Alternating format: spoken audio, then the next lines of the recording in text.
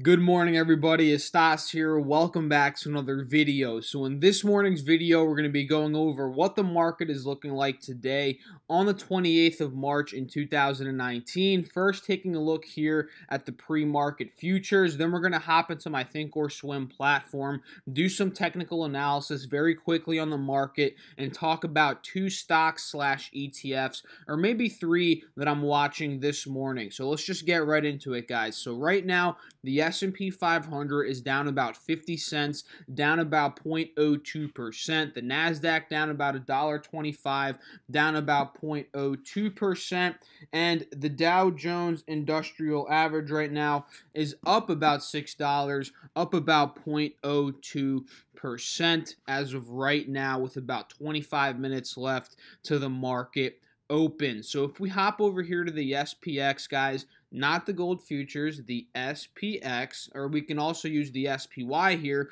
For those of you guys that have watched that watched my video yesterday, we talked about how the SPY and actually the SPX, we can see it a little bit better here, was forming lower highs from the peak at about 2860 about a week ago from today. So we can see the high here at 2860, the next high at about 2828, the next high at about 2820, and now we can see if this is the next high forming, which we'll find out here in the morning whether or not the market shoots down or shoots up. You know, this is going to be a very bearish move if the market does end up pushing down and doing something like I illustrated here from yesterday's video, right? So we can also take a look at the SPY, which is an ETF that tracks the S&P 500, and we can see something very similar here, right? If we go to the 10-day, 30-minute chart,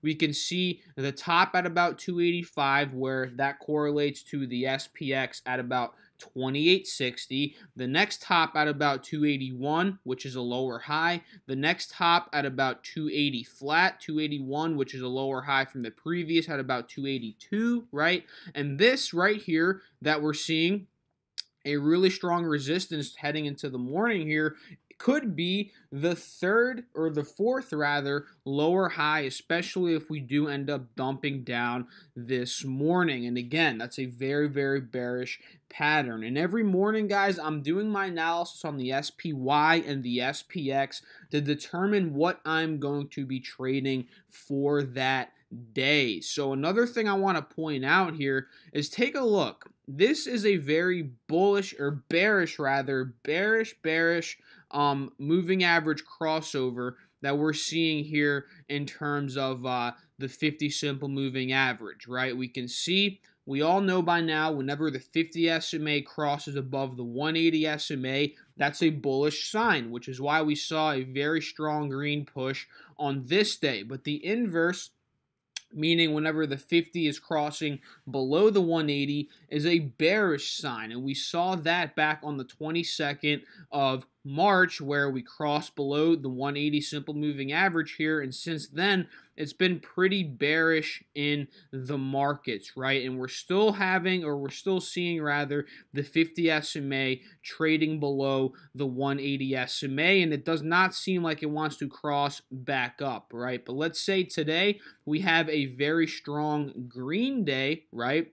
This is most likely going to push up here, and the 50 is going to cross back above the 180 SMA. And if we break out of this resistance here, at 281 if we have a green day that's really going to put us back into that bullish state in the overall market so just keep an eye on this chart here the 10 day 30 minute the 5 day 5 minute and keep an eye on those lower high patterns that I was talking about and if we're just taking a look at the 1 day 1 minute very quickly it seems very bearish on an intraday uh, intraday um, basis as well, right? The, the high here, lower high, lower high, and it seems like it wants to do something like that, right? So just keep an eye on these levels. Now, let's just talk about very quickly what I am looking to trade today on the 28th of March. And it's a very slim list today, guys, because again, like I've been saying, and if you watched my video yesterday,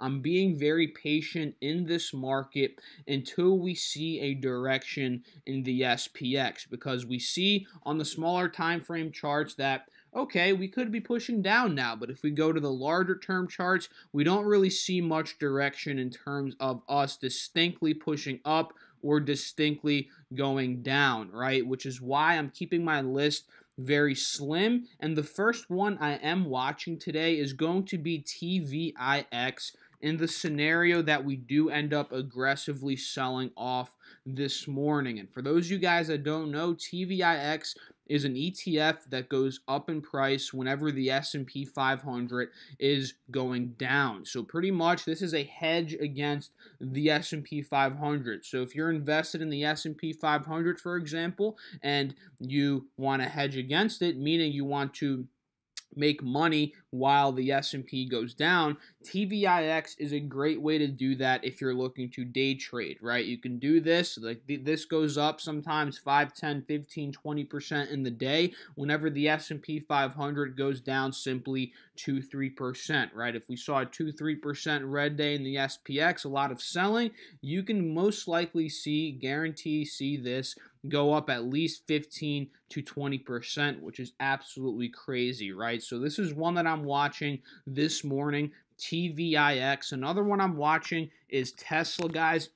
Ticker symbol TSLA. And Tesla's been doing very well recently. We saw that the lawsuit got dropped a couple of days ago. I believe we saw some analysts upgrade their positions on uh, Tesla here, and we saw the bottom at the bottom of this channel here at about 260 to 255, and from there we've clearly bounced. We broke the resistance at about 275, it seems like this morning, and I'm waiting to see are we going to maintain this level as well as the 50 simple moving average as a support, and from there, if we do end up maintaining these levels, guys, and we break especially out of this resistance here from back in the middle of October in 2018, I definitely think it's possible to run back up to 290, which is the next resistance at the 180 SMA. And we talked about yesterday how Tesla can be a play between the moving averages here, right? Between this SMA and this SMA from about 275 to 290. This can offer about a nice 5 6% margin of profit. This is what I'm watching today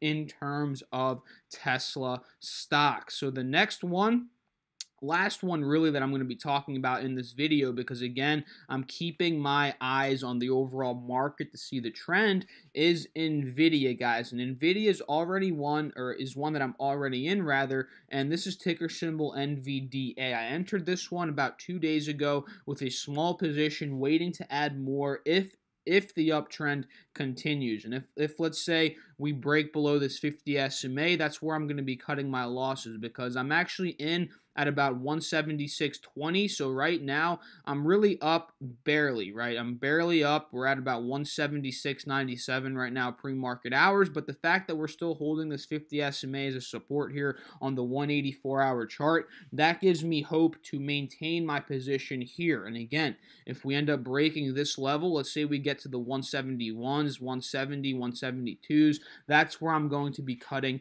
my losses, which is why I entered in with a small position until we confirm a further uptrend. This way, if I do have to cut my losses, I'm not losing as much money as if I just hopped in all in with 100% of my position right off the bat. So as of now, Nvidia is looking okay, but one thing that I'm kind of scared about is the lower highs forming in Nvidia on the smaller time frame as well. We see the high here at 185, high at 181, high at about 177, and let's say we do something like this where we form a high here, then we slowly start to dump. If the market does dump, that's not going to be too good of a sign here um, in Nvidia, but ideally I would love to see a pop to the upside. That would be the ideal scenario here, but if this does happen, the downwards push, you know, I'm most likely going to have to cut my losses there in NVIDIA, which is no big deal because, again, I'm in with a small, small position. So I hope you guys enjoyed this video. This is the morning update. If you did, feel free to drop a like, leave a comment, subscribe.